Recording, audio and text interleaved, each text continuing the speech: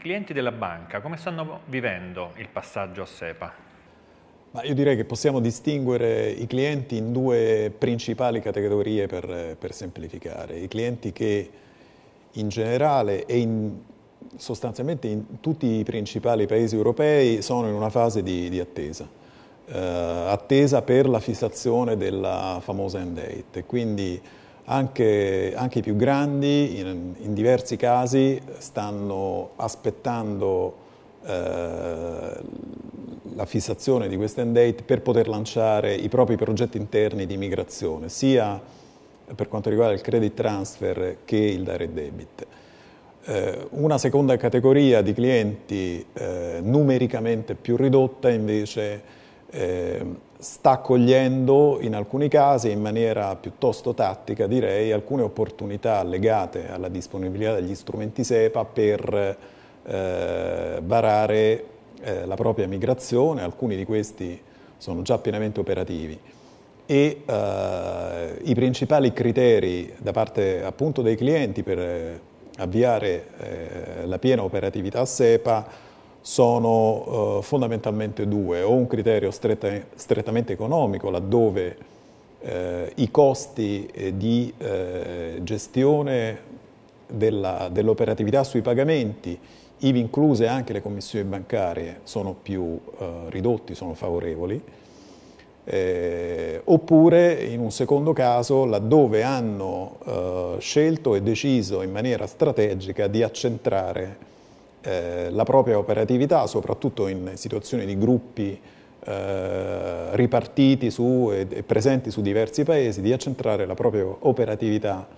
eh, sulla payment initiation, sull'inizializzazione appunto della,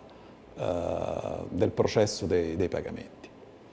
E come banca cosa potete fare per eh, facilitare questo passaggio? Allora, la banca ha capito fondamentalmente dall'esperienza concreta perché eh, abbiamo eh, accompagnato alcuni clienti che ormai sono pienamente operativi, eh, soprattutto in, in, alcuni paesi, eh, che è necessario varare insieme, accompagnare insieme al cliente accompagnare il cliente in un progetto di, eh, di migrazione. Eh, attraverso una, una, struttura anche e un'attività organizzativa dedicata all'accompagnamento del cliente eh, nel proprio progetto di migrazione. Quindi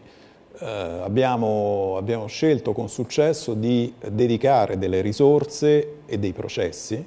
per poter ehm, supportare il cliente nella migrazione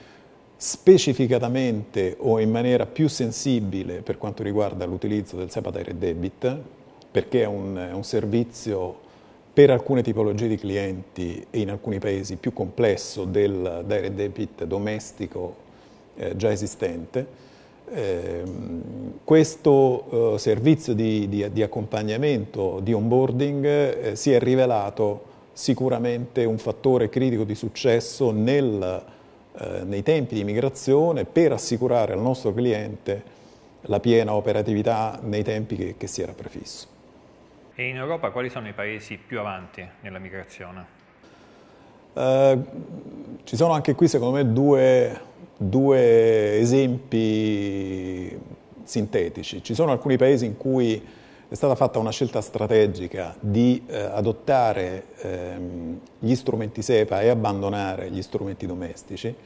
Penso a Lussemburgo, penso alla Finlandia, dove le comunità bancarie hanno formalmente eh, deciso eh, di abbandonare eh, credit transfer, soprattutto il credit transfer domestico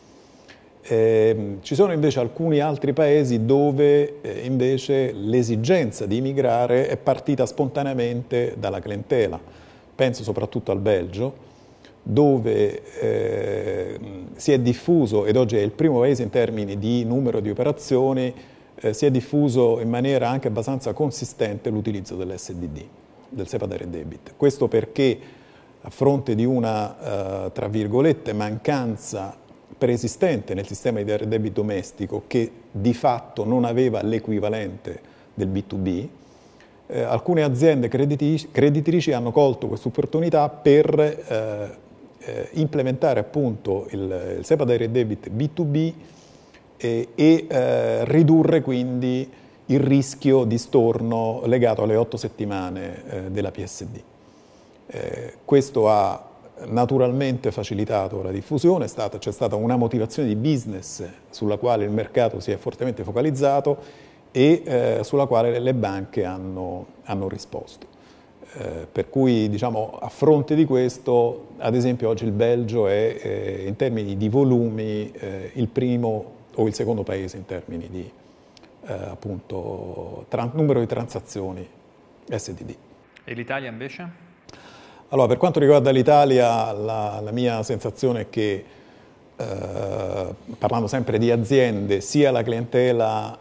eh, mid sia la clientela large sta ancora un po' alla finestra, sta aspettando sicuramente che siano chiare e definite alcune regole in corso di, di, di ultimazione, ad esempio la fissazione dell'end date, eh, le regole del, dell'AOS SEDA per quanto riguarda il redebit, in modo tale da eh, poter lanciare e avviare un progetto di immigrazione eh, a regole ben chiare. Eh, è inutile negare sicuramente che c'è una parte di clientela che eh, di fatto ha una posizione totalmente attendista e migrerà seguendo gli obblighi legati alla fissazione dell'end date.